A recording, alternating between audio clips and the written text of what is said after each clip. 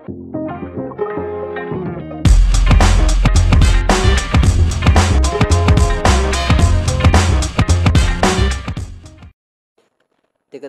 ya pada soal ada garis H itu menyinggung grafik fungsi fx ini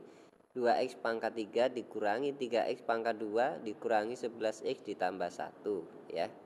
Kemudian jika gradian garis H itu sama dengan 1 maka tentukan titik singgung antara garis H dengan grafik fungsi f. Jadi yang ditanyakan ini titik singgung garis H. Nah penyelesaiannya adalah kita tentukan dulu ya gradien M sama dengan 1 ya jadi F aksen X ini sama dengan 1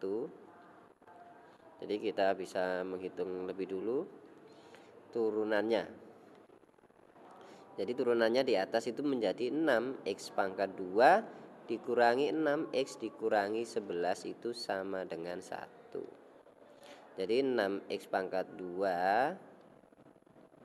dikurangi 6x jadi dikurangi 12 ya min satunya satu pindah jadi min satu. Ini sama dengan 0 kemudian kita ini bagi dengan 6 untuk disederhanakan. Jadi jadi x pangkat 2 dikurangi x dikurangi 2 ya sama dengan 0 0 dibagi 6 kan 0 nah selanjutnya kita faktorkan persamaan tersebut.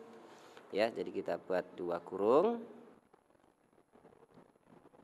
sama dengan 0 yang pertama ini X kita X ini. Nah cari dua bilangan apabila dikali negatif 2 kemudian apabila dijumlah adalah negatif 1 bilangan itu adalah negatif 2 dan plus 1 jadi yang pertama X min 2 sama dengan 0 sehingga X sama dengan 2 kemudian yang satunya adalah X plus 1 sama dengan 0 X sama dengan negatif 1 nah ini kita masukkan ya X sama dengan 2 dan X sama dengan negatif 1 ke persamaan fungsi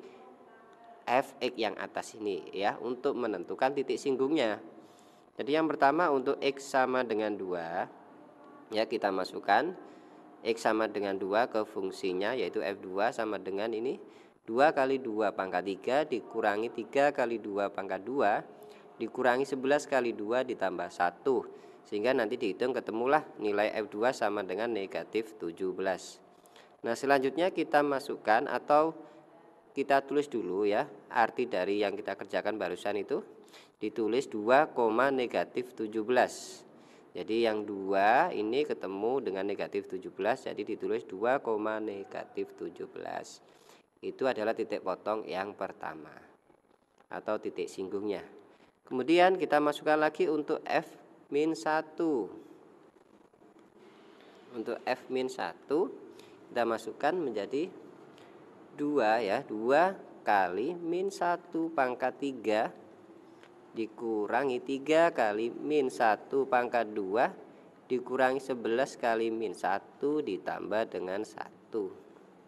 sama dengan negatif 2 dikurangi 3 kemudian ditambah dengan 11 ditambah 1 ini negatif 2 ditambah e, dikurangi 3 adalah negatif 5 kemudian ditambah ini hasilnya 12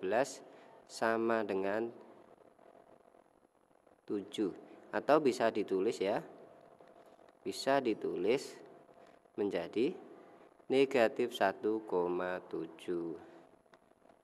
jadi titik singgung yang ditanyakan pada soal di atas adalah